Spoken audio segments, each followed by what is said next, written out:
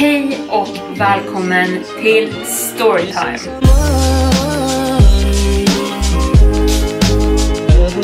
Jag är tillbaka. Ännu en storytime, ännu fler av era berättelser som ni har skickat in till mig. Det kommer vara flera av era berättelser i dagens avsnitt och det kommer också avslutas med en lite längre berättelse ifrån Reddit, precis som vi gjorde sist. Dagens tema är då lite hemsökelser, lite spökhistorier, ännu en gång. Men får vi nog? Nej. Inte jag i alla fall, jag får aldrig nog. Vi börjar med en lite kortare berättelse som jag har fått inskickad av Mirre. Jag satt i soffan och tittade på film medan mina barn låg och sov. Helt plötsligt öppnades dörren och stängdes och jag tänkte såklart att det var min man som hade kommit hem. Jag ropade Karl, är det du? Men jag fick inget svar. Jag trodde bara att han skulle driva med mig så jag fortsatte titta på filmen, brydde mig inte så mycket om det. Men efter en stund så öppnas dörren och stängs igen och då ropar min man direkt hej. Det var först då min man kom hem. Nästa berättelse kommer ifrån Vilma. Så den här berättelsen börjar med att jag och min bästa kompis Hanna skulle till mitt landställe tillsammans med min mamma över en helg, så fredag till söndag. Vi var jättetaggade och vi hade planerat så många roliga saker för den här helgen. På lördagen var vi bortbjudna på middag hos min mammas kompis som har ett landställe precis i samma område. Vi åt såklart maten och vi stannade kvar ett tag, men efter en stund blev vi ganska uttråkade och trötta så vi valde att gå hem före min mamma. Det hade blivit mörkt för en stund sen och klockan var ungefär runt halv elva, elva. Men det tog bara tio minuter att gå hem från min, min mammas kompis ställe hem till vårat landställe. Så vad skulle kunna hända? När vi har gått ett tag så börjar vi höra väldigt konstiga höga ljud från skogen som ligger precis vid gångvägen. När vi hade låst dörren så sa vi direkt vad 17 var det där till varandra i samma andetag. Jag försökte tänka på om det kunde ha varit ett läte från något djur, men vi hade inte sett något stort djur överhuvudtaget och så nära som det lät så borde vi ha sett det. Senare när min mamma kom tillbaka så berättade vi vad som hade hänt, men hon trodde att vi hade inbillat oss. Men vi båda vet exakt vad vi hörde och sen dess har Hanna aldrig vågat besöka stugan med mig mer. Men i sommar har jag, Hanna och några till kompisar bestämt oss för att återbesöka stugan och ta reda på om det faktiskt spökar där. Nästa berättelse kommer ifrån Lovisa. I somras blev jag väldigt nära två tjejer. En av tjejerna gick i min klass och den andra tjejen gick i min parallellklass. Vi började umgås väldigt mycket och ofta och blev väldigt nära fort. Men vid starten på jullovet så började vi alla känna oss ganska iakttagna när vi både var hemma och med varandra och oförklarliga saker började hända oss alla tre. En kväll skulle vi alla tre hem till min kompis och hennes föräldrar och syskon skulle inte vara hemma den kvällen. När vi kliver in i huset så skriker min vän av ren instinkt och frågar om någon var hemma. Men då svarar hennes syster henne och säger ja, jag är hemma, vart har du varit? Min kompis funderar inte så mycket över det här för att det är väl inte så konstigt att hon skulle ha stannat hemma trots allt och börjar berätta vart vi har varit och vad vi har gjort. Hon går då in i tv-rummet hon går då in i vardagsrummet för att gå och prata med sin syster istället för att det var uppenbarligen därifrån hennes röst kom. Men när hon går in i vardagsrummet så är det helt nedsläckt, tvn inte på och ingen är hemma. Men vi alla hade hört hennes syster prata tillbaka. Vi letade igenom rummen i huset för att se så att hennes syster bara inte var någon annanstans. Men hon var verkligen inte hemma. Så vem var det egentligen som svarade? En annan händelse inträffade när jag och en av kompisarna plus en av våra killvänner skulle smyga ut mitt i natten. Klockan var ungefär runt ett, två på natten. Jag min kompis och min andra killkompis skulle möta en annan vän vid skolorna. Men innan vi ens hinner komma fram till skolorna så kommer våran kompis som vi ska möta springandes i panik fram till oss. Hon säger då att hon har hört mig och min killkompis i en dunge nära skolan. Vi berättar då att vi kom just hemifrån och vi har inte varit i någon dunge. Och det hon berättar då ger mig fortfarande rysningar. Hon hade sett två gestalter stå där inne med varandra. En lång och en ganska kort. Hon trodde då såklart att det var jag och min killkompis för hon var ju ändå redo att träffa oss. Och de var ganska lika oss i längdskillnaden också. Hon berättar då att hon har hört Tjejen, den kortare gestalten, ropar mitt namn inifrån dungen medan den längre killen börjat skratta. Hon hade blivit så uppskrämd av detta så hon började bara springa i hållet vi bodde åt. Och som tur var så sprang hon ju in i oss. Men vem var det som stod där inne klockan två på natten och ropade hennes namn? En annan händelse inträffade när jag och de här två tjejerna som jag nämnde skulle sova över med varandra. Som sagt var vi väldigt bekväma med varandra och vi skulle gå på toaletten tillsammans. Min väns familj och syskon var inte hemma den här gången heller så att vi var ensamma hemma i huset. Det var helt kolsvart ute och klockan var ungefär nio på kvällen. Vi gick alla in på toaletten och låste efter oss. Inne på toaletten så pratade vi och skrattade Tills mina två vänner helt plötsligt vänder sig mot dörren och säger Hörde ni det där? Jag tänkte att de drev för jag hade inte hört någonting. Båda hade hört en man med en väldigt mörk röst. De förklarade som att det lät som att han hade rökt i typ 100 år. De kunde inte urskilja vad han hade sagt för det lät så otydligt. Men det lät som att han halvskrek. Vi blev livrädda och vågade inte gå ut ur badrummet, så vi satt kvar där tills hennes föräldrar och syskon kom hem igen. Jag bad då båda två peka på vart de hade hört ljudet komma ifrån och de pekade samtidigt på samma ställe. Vi började gå omkring i huset och kolla om vi typ kunde ha missat att stänga ett fönster eller någonting där den här mannen skulle ha kunnat ta sig in medan vi var i badrummet.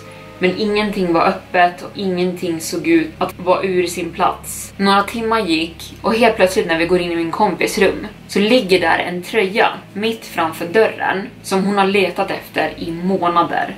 Den har alltså varit borta i flera, flera månader och helt plötsligt har den dykt upp ur tomma intet och ligger nu mitt på golvet framför dörren. När vi väl hade lagt oss för att sova så hörde vi senare på natten fotsteg från samma plats där mina vänner hade hört den här mannen. Ingen av oss sov särskilt enkelt den natten. Nästa berättelse kommer också ifrån en Lovisa, men den här Lovisa återberättar en händelse som har hänt hennes kusin. Så hennes kusin säger så här. Redan när vi flyttade in i vårt nuvarande hus så kände vi en närvaro i både källare och runt om huset. Vi fick veta av vår äldsta dotter att hon hade sett en man stå vid sängkanten av hennes säng. Men även jag och min fru har sett väldigt konstiga fenomen vi inte riktigt kan förklara. Dörrar som öppnas av sig själv, hört någon gå i hallen, sådana saker. Vår son på ett år sover i vårat sovrum om nätterna, men när vi har lagt honom för att sova för natten så har vi på en babymonitor så att vi hör om han skulle vakna medan vi är på nedervåningen. En kväll så hörde vi skrap och fotsteg komma ut genom radion och vi hör då att våran son vaknar. Vi går då upp men allt ser ut att vara lugnt så vi går ner igen. Men efter en stund så händer det igen. Men den här gången kan vi se hur radion rör på sig. Vi går då återigen upp och nu är sovrummet så iskallt som man fryser när man går in där.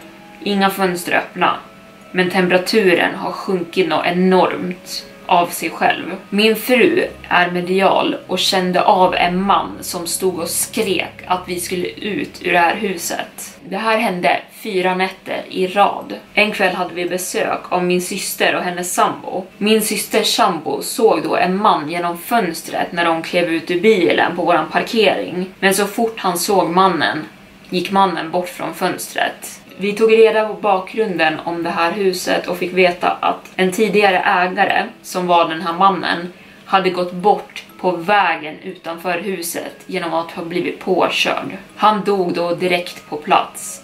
Men han älskade det här huset och var väldigt noggrann med vad som försiggick i det. Nästa story kommer ifrån Ellie. En natt så sov jag över hos en kompis och vi hade bestämt oss för att vi skulle dygna. Ungefär ett på natten så hör vi ett ljud komma från nedervåningen. Men vi tänker bara att det kanske var hennes pappa som hade vaknat och gått upp. Men det hinner bara gå ett tag tills någon skriker kom ner. Det lät verkligen som hennes pappa så vi sprang ner för vi tänkte om man behövde akut hjälp med någonting. Men när vi kom ner så var det ingen där och alla lampor var släckta. Vi kollade runt i alla rummen och man var inne där. Men när vi till slut kollade i hennes föräldrars sovrum så låg båda hennes föräldrar och sov. De hade en väldigt lång hall i det här huset och senare på natten när jag ska gå på toa så ser jag någonting längst bak i den här korridoren. Jag blir skräckslagen av att se den här skepnaden så jag går in i rummet igen och berättar för min kompis vad jag har sett. Hon säger att jag kanske har sett syne, men nästan direkt efter hör vi någon knacka på hennes dörr. Vi öppnar och det står ingen där. Efter det här hade vi tappat lusten för att sitta upp och dygna och vi försökte gå och lägga oss istället. Det gick dock inte bra att sova på grund av allt adrenalin. Men precis när jag håller på att somna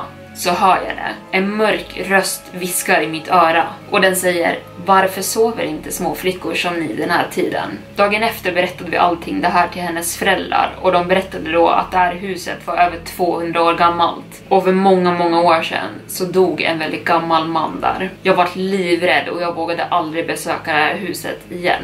Då har vi kommit till dagens sista lite längre story och den kommer ifrån Reddit. Användaren som har publicerat den här storyn skriver Den här händelsen fick jag återberättad av en familj jag var nära vän med. Vi kommer att kalla den här familjen för familjen Smith. För berättelsens skull kommer jag kalla personerna i den här familjen för pappa Bob, mamma Sue och sen deras 12-åriga son kallar vi för Jake. Det var en helt vanlig kväll hemma hos familjen Smith. Alla hade lagt sig till sängs och var redo för att sova. Sonen Jake låg i sitt rum och höll på att somna när han helt plötsligt hörde ett hasande ljud som kom från hörnet av hans rum. Medans han låg och försökte komma på en logisk förklaring till vad som kunde orsaka ljudet så känner han hur någonting kryper upp i sängen och lägger sig precis bredvid honom. Närvaron är så nära så att den i princip skulle kunna skeda honom. Han kände tydligt tyngden av närvaron trycka ner madrassen där den låg och få panik.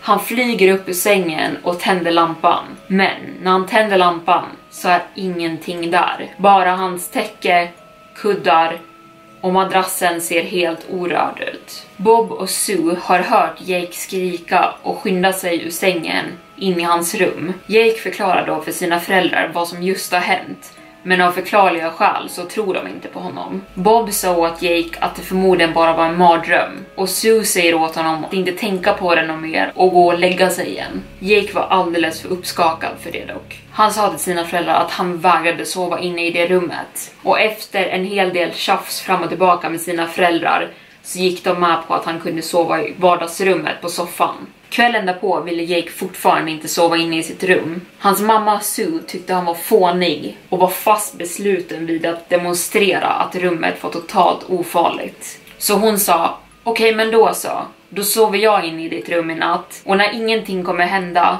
så vet du sen att det bara var en mardröm och du kan fortsätta sova i ditt rum, eller hur? Jake går med på det för att vad som helst, bara han slipper sova i det där rummet i natt. Han gick in till sina föräldrars rum och la sig bredvid sin pappa medan mamma Sue la sig bekvämt i Jakes rum för att sova. Men när Sue är på väg att somna så hör hon också någonting och innan hon vet det så lägger någon sig precis bakom henne i sängen. Det skedde på exakt samma sätt som Jake hade beskrivit natten före. Sue känner också tydligt hur madrassen pressas ner precis bredvid henne som att en människa skulle ligga där. Hon flyger upp ur sängen och slänger sig på lampknappen men när hon tänder så är ingenting där. Ingen i familjen sov i Jakes rum ett bra tag efter detta. Inte förrän familjens präst kom till huset och välsignade hela huset men fokuserade på Jakes rum. Efter det så fick ingen i familjen oönskat besök i sina sängar mer. Och där har vi nått slutet på dagens storytime.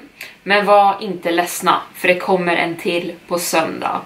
Ni hörde rätt, det blir två den här veckan igen. Så på söndag kommer det en ny med ett nytt ämne, ett väldigt viktigt ämne. Glöm inte att prenumerera på kanalen, gilla jättegärna videon, kommentera vilken ni tyckte var läskigast. Vill man skicka in sin egen storytime så gör man det till min Instagram som ni har här under eller till min mail som ni också har här under. Då vill jag återigen tacka för mig och säga hejdå. Vi ses nästa gång.